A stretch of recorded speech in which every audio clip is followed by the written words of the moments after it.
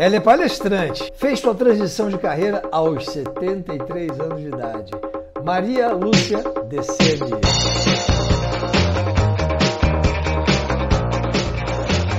Tudo bom, Maria Lúcia? Tudo ótimo, feliz de estar aqui, agradeço o convite e esperando trazer para o seu público aquilo que poderia ajudá-lo, assim como eu tenho a intenção de fazer quando eu faço as minhas palestras. O que, que você fazia antes de ser palestrante? Eu venho de um período com 82 anos. Sim. Eu posso dividir minha vida num monte de períodos, Com se você certeza. quiser. Não. Em 10 minutos não dá tempo. Certo. Mas eu era consultora imobiliária. Certo. Aí resolvi me aposentar. Foi a pior coisa que eu fiz. Eh, eu aprendi a ser dona de casa, a fazer faxina, e um dia eu estava ajoelhada no banheiro com uma escova de dente, esfregando o ladrilho. Quando eu vi aquilo, eu falei, gente, não pode. Quem que é essa mulher? O que, que ela está fazendo com ela mesma? Né? E coincidentemente, o que não existe coincidência, mas eu acho que o universo concorreu para isso, eu ia fazer um curso de palestrante profissional. E a minha história contando as, trans- as mudanças por causa de um batom vermelho em Paris, sozinha, eu mudei minha vida. É muita coisa. Eu subi no palco. O, o coach falou: vai contar essa história para os meus alunos. E eu contei, e a partir daí eu fui chamada para fazer um monte de palestra. Porque, veja, para mim foi o batom vermelho. Eu nunca tinha pintado a boca. Sim. Quando eu vi aquelas idosas de Paris andando sozinha, carregando a sacola, o cachorrinho, andando de metrô, de batom vermelho, eu falei, gente, tem algum segredo aí? Essa força que elas mostram. E entrei numa loja e comprei um batom vermelho e saí. E aí realmente minha vida mudou. Então, Sim, foi o clique. Foi um clique, porque Uau. assim, se eu posso, e eu posso transmitir para as outras pessoas, para mulheres, para homens, porque o treinamento é feito em, em empresa. Então, assim, esse batom mudou a minha vida e a sua. É uma caneta, é um computador, é um curso. Como é que você pode sair do ostracismo? Como que você muda? E aí, cada um, eu faço quando eu termino a palestra, eu faço uma cerimônia do batom vermelho, com um pouco de PNL, constelação familiar, um monte de coisas, e música. E quando termina, eu falo para as mulheres passarem batom.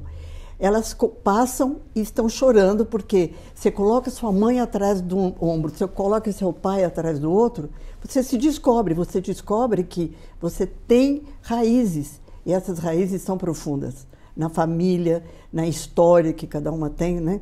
Agora, Maria Lúcia, é, antes de você fazer essa transição de carreira aos 73 anos de idade, você teve uma carreira profissional.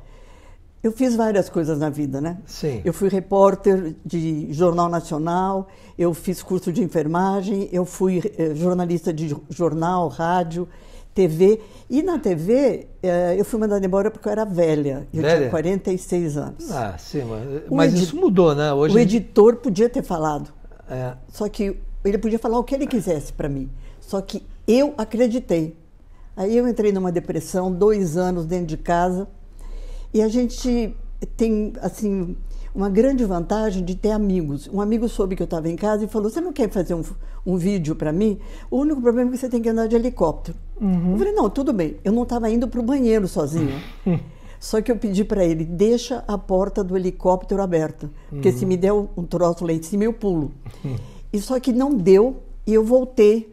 Fui ser assessora de imprensa na ortopedia do HC, pela mesma razão, a mesma razão que eu fui mandada embora da TV, que eu era velha, eu fui contratada porque a minha experiência era o que eles precisavam. Agora me conta qual é o conteúdo da sua palestra. É exatamente isso, de servir e mostrar para as pessoas que dentro de cada um tem uma força que às vezes está escondida, está embutida. Mais ou menos como você descobrir um tesouro próprio. É, eu tenho uma, uma ressalva a fazer com aquilo que a gente estava comentando antes, que é a adjetivação das pessoas. Eu fui criada como sendo uma pessoa ruim. De criança eu era ruim. E eu levei esse adjetivo para minha vida toda. Então, qualquer sucesso que eu tenho, vem aqueles, mas você é ruim, você não merece isso. Eu tenho que acreditar que eu não sou ruim. É, falaram para mim também que eu era elegante porque eu era magra. Agora nem isso, eu sou porque eu sou gordinha. Estou a rechonchudinha da alemã eh, da família. Mas que eu nunca seria chique. E aí o que, que eu fui fazer? O que, que é ser chique? O que, que você precisa vestir, fazer, ser, falar, estudar para ser chique? Uhum. Tem muita Glorinha Calil escondida no meio das mulheres, sabe? É, basta elas não acreditarem mais naquilo que dizem que ela é quando criança. O seu público que vai assistir às suas palestras, eles estão na sua faixa etária? Qual é, qual é o. A maioria são mulheres novas, na faixa de 37, 47 anos. Acima de 50 e 60 anos é uma pena, é uma, uma pena muito grande. É, apesar da, da pirâmide etária do país vai mudar, uhum. vai ser um número maior de idosos do que Sim. de jovens, né? por isso que existe muita propaganda dirigida para essa faixa, mas não são todas as mulheres que se aposentaram e que têm coragem de fazer essa transição. Outro dia encontrei uma moça que, 47 anos, Charles, 47 anos, ela chegou para mim e falou assim: Eu não tenho a sua coragem. Eu, eu quero mudar, eu não aguento mais ser cabeleireira e eu quero ser outra coisa. Falei, mas o que, que você quer ser? Ainda não sei. Mas enquanto você não souber, você não vai ter força para mudar. Mas tem chance para todo mundo. Hoje em dia existe cremes, tratamentos estéticos, cursos. A internet está cheia de cursos. Outro dia estranharam que eu estou fazendo o, o chat GPT. Eu, eu, fiz uma proposta de palestra usando inteligência artificial. Aí espantaram, mas como que você sabe fazer isso? Eu não sei, eu fui aprender. E eu acho que é isso que tem que ser levado em consideração, sabe? Uhum. A pessoa, é, existe um monte de gente, tem terapeutas. Eu vim com uma, uma, uma, uma mulher incrível é, que, que é uma terapeuta e ela faz essa transformação, essa ajuda as pessoas a fazer a transição. Eu faço o despertar. Eu faço acender o fósforo e a pessoa tem que continuar sozinha ou acompanhada. Eu tive mentores. Certo.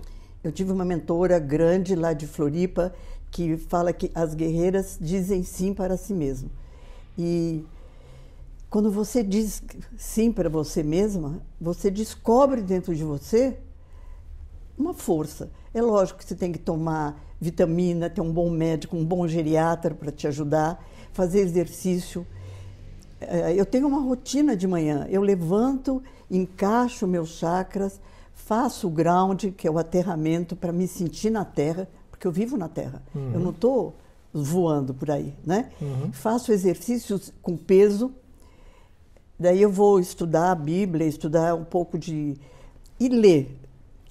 E eu faço uma coisa que eu aconselho para todo mundo exercício de caligrafia. Ninguém sabe nem o que é isso, às vezes. É, é, todo mundo mas, tecla hoje, ninguém escreve. Mas você fazendo o teu nome, eu fui numa numeróloga e ela mandou eu fazer meu nome como se fosse de uma criança. E aí todo dia você faz uma hora, meia hora de caligrafia, você centra, você se descobre, você descobre dentro de você força que você nem sabia que tinha. As pessoas falam assim: ah, nossa, você é maravilhosa. Eu sou, independente, eu sou metida. E tem uma outra coisa que eu vou te dar um alerta: me dá um microfone e eu não solto. Eu já vi. Quando eu, eu trabalhava, eu era repórter, eu estava cobrindo uma apuração de eleição. Uhum. De repente veio um bêbado e queria pegar o meu microfone. Eu falei, não, o microfone. E comecei a brigar com o bêbado. Aí ele falou, mas eu quero falar uma coisa. Tudo bem, você vai falar, mas quem segura o microfone sou eu. Sim. Então isso aí é uma, uma forma de dizer, sou eu. O comando está comigo. O comigo está comigo. Exatamente. Não só do microfone, mas da Sim, vida, da sabe? Vida. Maria Lúcia, eh, como é que as pessoas eh, contratam suas palestras? Como é que faz? É, pelo meu Instagram. Pra cá, pelo meu essa... Instagram. Isso. M. Lúcia Sene Pro. Falam que é difícil, mas olha, M. Lúcia Sene S-E-N-E, Pro. Manda mensagem, eu troco o WhatsApp, a gente troca informações, fotografia e etc e tal. Estou disposta, disposta a ajudar as pessoas, porque essa é a missão, o meu propósito de vida atual, pra, porque eu sei, eu sei. Maravilha.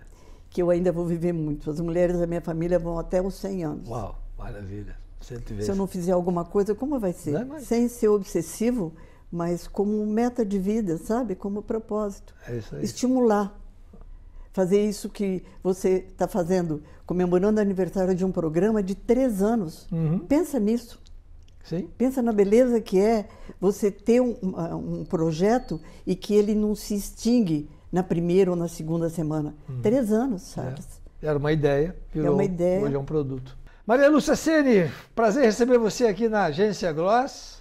Muito, Muito sucesso para sua carreira, para sua bonita trajetória, uma elegância em pessoa. Me amarrei no seu óculos. Chique. Chique. Chique. Eu sou chique. É isso aí, você é chique. Muito obrigada. Eu que agradeço. Agradeço as pessoas que eh, vão entender a mensagem que eu falei no, no atabalhoado das palavras. É isso aí. Beijo para vocês. Até o próximo programa. Bye.